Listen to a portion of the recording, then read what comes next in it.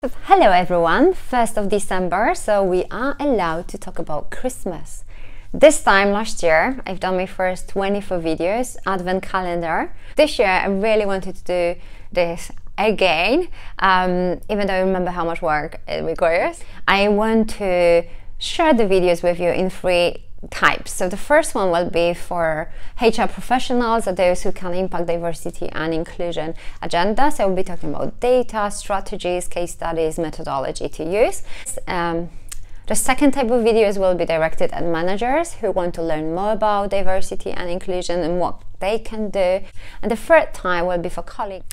But since not many people go that far into the videos, I'm going to do my own appraisal. Yeah. So I am so happy and actually I'm so proud that I've reached those goals.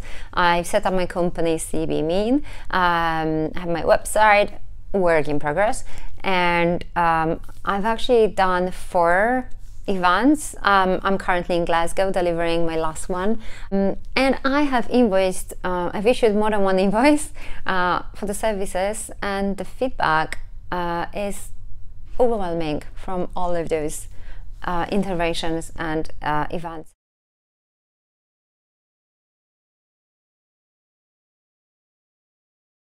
I'm so grateful. But I am also grateful for the experience I have had in my previous organizations. I know that the level of service I can provide today wouldn't be as valuable if I didn't have had the corporate experience. And thank you so much for my supermarket. Uh, i think you know how, how, how much i've learned how valuable for me it was to have the experience working in the tech world. I feel like the ways of thinking and working from tech uh, can be really applied to move the needle with diversity and inclusion agenda in any sector. So it's been absolutely fantastic, but my desire to have my own company has always been with me ever since I left Poland 12 years ago and I left my first company uh, back then. I've always had this thing about um, distinguishing between validating myself um, and making sure what I do is valid to me and to people I serve. And so I'm going to break it down by that, and I feel like that's going to be the performance where I management when I can really look at am I delivering what's important and how I'm delivering it. So the number one is the values, and for me, it is uh, helping managers and colleagues and organizations to uh, drive diversity and inclusion by uh, focusing on three, for me, important things. So number one is to see. So it's to be um, observant, to, to um, analyze and be able to see what's going on.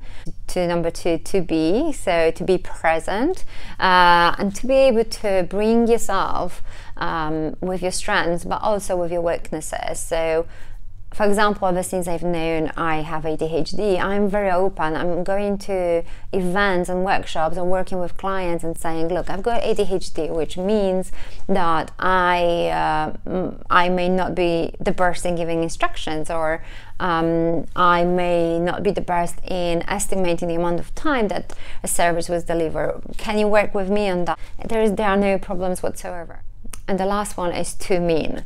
Uh, we give meanings to our words and actions and that and think about the bigger picture. Um, number two, accountability. Uh, accountability is a biggie. Uh, it's always been, but especially when you are self-employed, uh, I'm I'm very mindful and working hard to ensure that what I am delivering to the customers or people who come into the events is what they need and that they will take something away from it i think and especially when we are dealing with people and our topics like diversity and inclusion i'm very mindful of the power of words and the content i'm delivering and i'm taking as much responsibility as i can and i am making others aware of the responsibilities they have. Um, learning, I would have not even started my company if I didn't have the growth mindset.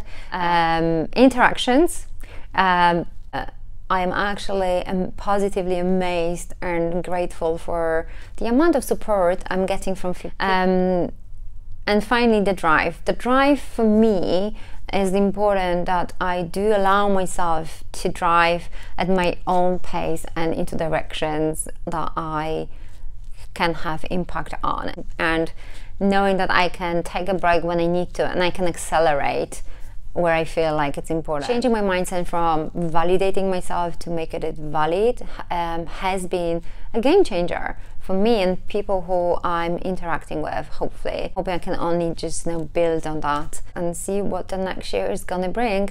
But it's been, it's been uh, an interesting year. But now I can take the step back and appreciate the challenges and appreciate the situations and appreciate uh, the learning that came with it and uh, actually be grateful for that.